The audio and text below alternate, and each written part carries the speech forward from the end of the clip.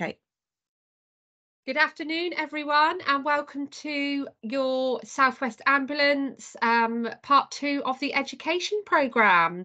So this webinar is for nurses that have been recruited to come and work for SWAST. This is part two. Uh, part one is already on the YouTube channel. So today we're going to talk about the role itself, just to give you a little bit more uh, content as to what's going to be expected of you. Um, so I'm Carly and I'm the transition lead for the Alliance. I'll hand over to Laura. Thanks, Carly. My name's Laura Travers. I'm the International Project and Pastoral um, Support Facilitator. So I look after um, you guys after you've had your interviews and you've passed um, with Carly, and we look after you um, up until we hand you over to SWAST when you're in country. Brilliant. Thanks, Laura. And Cara.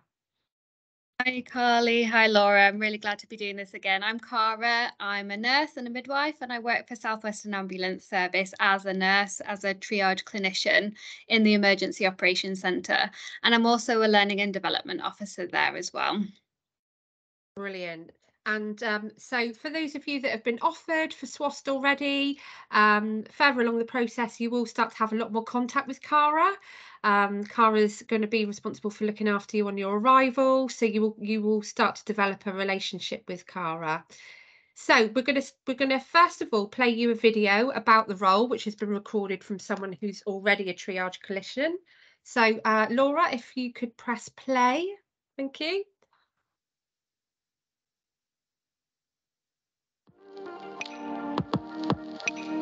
Hi, my name's Julie. I am a qualified nurse midwife and I currently work as a triage clinician within the Emergency Operational Centre, Southwest Ambulance Service.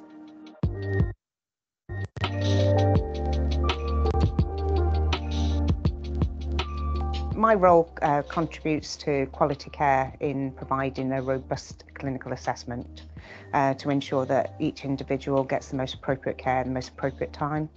So a day in the life of a triage clinician um, is, is very varied. So predominantly we are going to be dealing with the clinical stack. So that would involve looking at the different categories of calls that are waiting, waiting for a response. Also looking at the low acuity calls that are deemed initially as not needing any response. However, through clinical assessments, you know, things change quite significantly and quite quickly. There are lots of different work streams. So sometimes we're not just clinically, you know, triaging over the phone. We can be supporting when the calls are coming in initially. We can be supporting the dispatch team as well. So it's a very varied role and no two days are the same. We're a very diverse team, huge, huge clinical experience within each EOC. So there are nurses, there are paramedics, we have trainee specialist uh, practitioners, as well as hub doctors. We have honorary midwives who are in the hub, and also we have a large mental health specialist desk. So there's lots of clinical knowledge. Every day is a learning day. I enjoy working for SWAS because it is quite dynamic, it's ever changing. Uh, we are a very busy organisation, so there are lots of different things going on from day to day. I enjoy the team I work with. You know, we are very close but very experienced clinical team. It's just a very good environment, really. For the clinicians EOC, the shift patterns are really quite variable. There's there's about eight different shift patterns. There are flexible working. You know, it would be really dependent on what your requirements are. So in my experience, the leadership's um, very supportive. There is an open door policy, you know, regular monthly one-to-ones with my uh, manager just sort of open door any issues at all that I feel that I can always go to my, my leadership team and discuss. One of the deciding factors for me to come over to the Southwest Ambulance was career progression, really.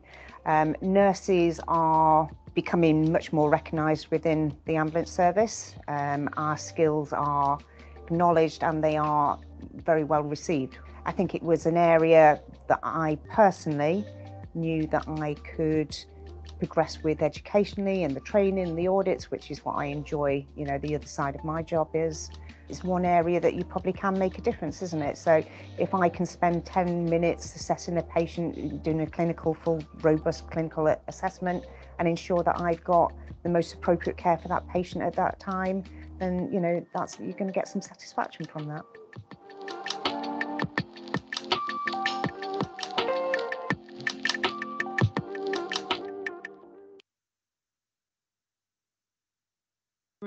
Thank you very much, Laura. So it's really nice to actually see um, the clinical environment where some of our nurses are going to be working. It looks like a really nice working environment, actually. Um, so just one question that's come up for me from the video is, am I right in thinking the clinical stack is the list of patients that have phoned in? Yes, yeah. So that's our calls uh, or incidents, we call them, of patients who are waiting for an ambulance response, Yeah. or we've received a call to our service for assistance from us. Right, okay. And just thinking, it, it looks like a, a really lovely working environment. So are there facilities there for sort of tea, coffee, lunch break, that sort of thing? Yeah, so one of the great benefits of um, working in the Emergency Operations Centre, as we'll all know, working in a ward, working out on the road, is uh, it's warm, it's dry. Yeah. We um SWAS Southwestern Ambulance Service are really good. They provide us with tea and coffee. We've got coffee machines here. Um, and you know, you can work allowing get up and go to the toilet whenever you need to, which um, isn't something we all experience Yeah, when we are, you know, seeing and, and assisting patients face to face. But we've got great, great facilities here. We've got a break room. We've also got a quiet room. So if you were to have an experience, you know, do a particularly difficult call, there's a quiet room there. You can go and take five minutes out if you need to as well. Excellent. Yeah, the, it's a very attractive role. It's getting even more attractive. That's brilliant. Thank you. So, Cara, I'm going to hand over to you because I know you've uh, worked hard on pulling together a training session. Um, so I'll hand over to you. All right. Thank you, Carly. So what we really wanted to do was um, just demonstrate how we actually work. Um, and so one of my colleagues, another member of the learning and development team, have done a mock call. Um, so obviously, you know, there's no kind of patient identifiable um, information, but we've used our training screen um, of, we call it C3, that's the, the training uh, version of the program that we use to assess you know assess and filter the calls that come into our service. So i just wanted to to demonstrate a call um, and some of the programs that we use um, some of the software that we use some of the tools that we use when we're doing that call. So i'm going to share my screen. You'll see the manchester triage system tool um, and within that you'll also see some of the other uh, features that we use of that program. So the pain ladder, sepsis screening. Um, I'll also demonstrate the GoodSam app that we use. That's um, an app that allows us to do video consultations with patients so we can see exactly what they're describing. Um, unfortunately, we can't actually show that um, within this call itself, but it's just to to familiarise yourself with the the GoodSam app because it really aids us when we're we're doing clinical assessments.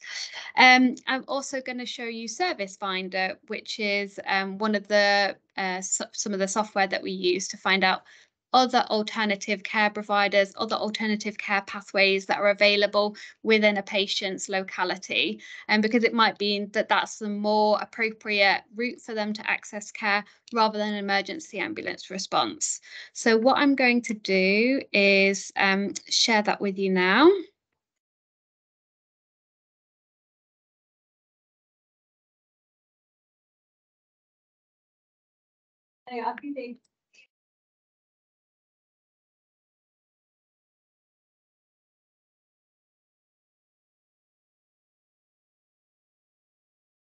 Can't this see your is screen.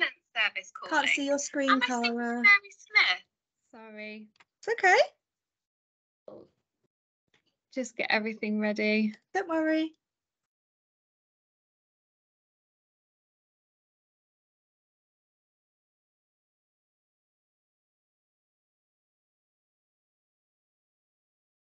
Has that worked?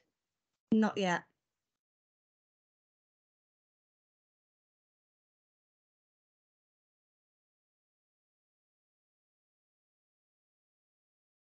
That looks good. Yeah. Success. Yeah. Yes.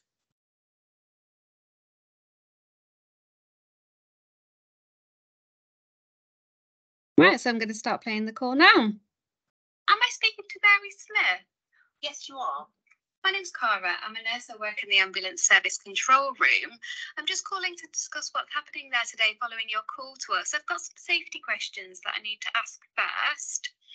Are you having any difficulty breathing at the moment? No, not at all. And can you confirm, is there any bleeding anywhere? No. So what I'd like to do is find out a bit more information, as I said, about what's happened there. Can you confirm your full address, please? Yes, it's number one High Street, Bude in Cornwall. And I've got that as TR271AA, is that correct? That's correct, yes. And can you confirm your telephone number for me? Yes, it's 01234 56789. Thank you. I'll call you back on that telephone number if we become accidentally disconnected. Can you tell me what's happened there today and why you've called 999? Well, I've fallen over in the garden and I've injured my wrist. Okay, and have you injured yourself in any other way? No, it's just my wrist. And where are you now? I'm sat inside the kitchen. I've managed to get back inside the house. Okay, so you're you're in a warm and safe position at the moment. Yes. Good. So what I'd like to do is go through an assessment with you over the telephone just to make sure that we're getting a full picture of what's happened there today. Is that okay? That'd be lovely. Thank you. Thank you. So I'd just like to confirm that your breathing is completely normal for you at the moment. Do you feel short of breath? Do you feel that you're having any breathing difficulties? No, not at all. And confirm for me that there's no open wounds, no bleeding anywhere. No. Can you see yourself in the mirror at the moment, Mrs. Smith? I can. Do you does your skin look a normal colour? Yes, I look nice and pink. Good. And can you put your hand on your forehead and tell me what temperature is? Oh no, my skin feels a normal temperature. Good. Does it feel clammy or sweaty? No, it just feels normal. Do you feel dizzy or lightheaded at the moment? No, I don't. And um, did you feel dizzy or lightheaded when you got up and walked into the house? No, nothing like that. Good. And do you feel like your heart is beating normally for you at the moment? Yes, it is. So, which hand is it that you've injured? It's my right hand. Your right hand. And is it just the hand or the? It's the- the wrist. It's the wrist. lower part of, of the of the arm. So, what I'd like to do, if that's okay, is a, a video consultation with you so that I can have a look at the wrist. Would you be willing to do that? That'd be lovely. Thank you. That'd be fine. Thank you. So, what I'm going to do is send you a text message. It will ask you to share access to your camera, your location, and your microphone.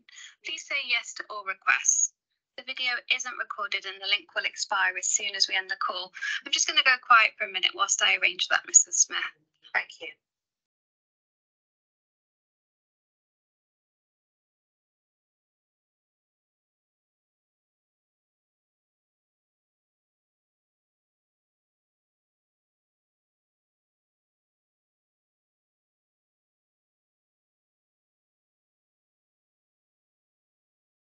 You just confirm your telephone number for me again. It's 01234 56789.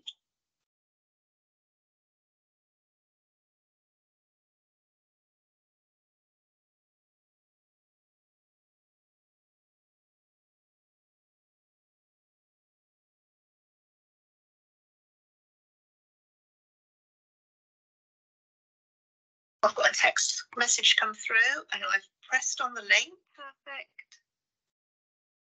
and then you say allow my location and allow the use of the camera. Yes, please. Just click allow to all requests. Lovely. Oh, there I am. Perfect. So if I can just see your wrist. So what I'd like to check now is, is there is that wrist a normal colour for you? So if you compare it to your other wrist, your other hand, is it the same colour? Yes, it is. And is it the same temperature? It might be a bit tricky for you. I'm just going to put the phone down while I have a feel. Oh no, they feel the same temperature. That's great. And do you have any numbness or altered sensation in your hand? Uh, no, I can feel and feel and move my fingers normally. Perfect. So what I'd like to ask now is, in the last 24 hours, have you had any new numbness anywhere else? No, Any weakness in the last 24 hours? no, And have you been going to the toilet, opening your bowels and passing urine normally for you in the last 24 hours? oh, absolutely. Perfect. And as you said, there's no open breaks in the skin, no bleeding anywhere. There you are. Are you otherwise unwell at the moment, Mrs. Smith? No, on antibiotics or anything? no. I, the only thing I take is um, uh, Ramipril for my blood pressure. I'll just make a note of that. At the moment? No, What I'd like you to do is give me a pain score. So zero is no pain and 10 is the worst pain you've ever had in your life. What would you score the pain as right now? oh, I would say about a seven if I move it, but about a five if it's still. Okay, and I can see there that you are moving the wrist and the hand somewhat. So you have got some movement there in your fingers. Perfect. More than 24 hours ago, have you had any new numbness or weakness anywhere? No, I've been fine. Any changes to your bladder or bowel function? No? Oh, good. You don't have a bleeding disorder. Oh, no, Do you take any blood thinners? no. What I can see there is that there is a, a bend there. Is is that normal for you? No, I, I, I wouldn't normally have a bend in my wrist like this. How would you describe it? Um, well, it looks deformed. It looks like a dinner fork. Just making a note of all of that. Okay, so from the information that you've given me, we obviously need to get you checked out and seen and assessed further. What I'm going to do now is have a look at what other services that we've got in your area. So I'm just going to end that video call now. Thank you.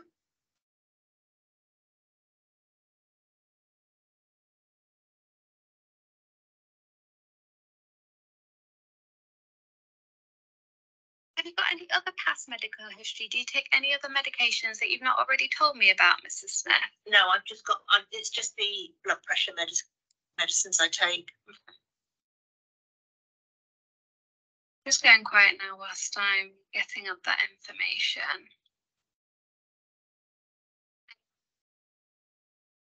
There's a minor injury unit not far down the road from you, Mrs. Smith. Do you have access to any other transport? Well, my neighbour will drive me across. So do you think that they'd be able to take you there now? I should think so. They're, I can see their cars parked outside. Have you had any pain relief yet?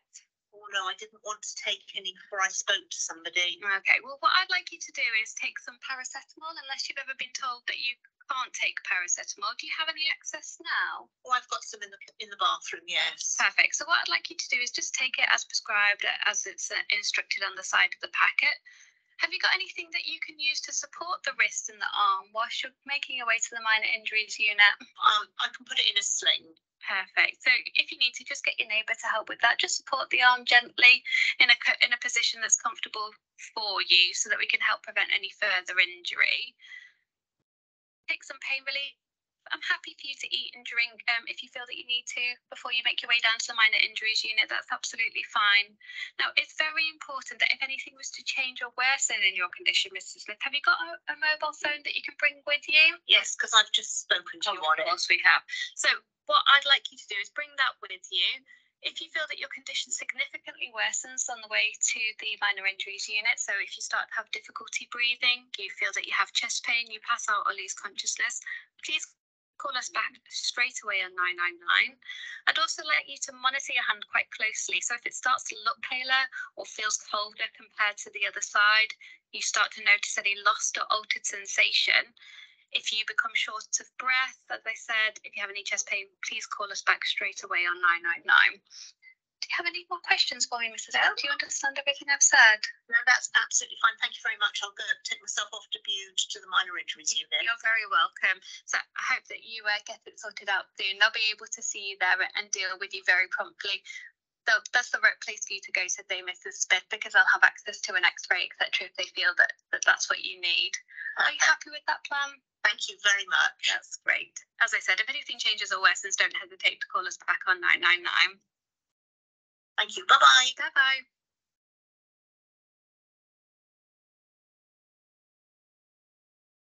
And there it is. No, that was lovely. And I think that, you know, the nurses that are going to be coming over to work for SWAS, they're going to find that really helpful. Um, they've had first sights of some of the assessment tools you've used. So um, I've made a couple of notes. So there's a, a Manche- Manchester triage score. So is that the system that it, that they go on to? Yeah, so that's the clinical decision support tool that we use um, within remote triage. Obviously, there's other tools that are available, but MTS is the one that we use at the moment in SWAST. Right. Um, and that just helps us to facilitate, to structure the triage that we perform, um, to help us facilitate with our decision making. Obviously, you're still a clinician that's using that tool. So you're still using your clinical knowledge, clinical skills, you know, clinical experience. Yeah.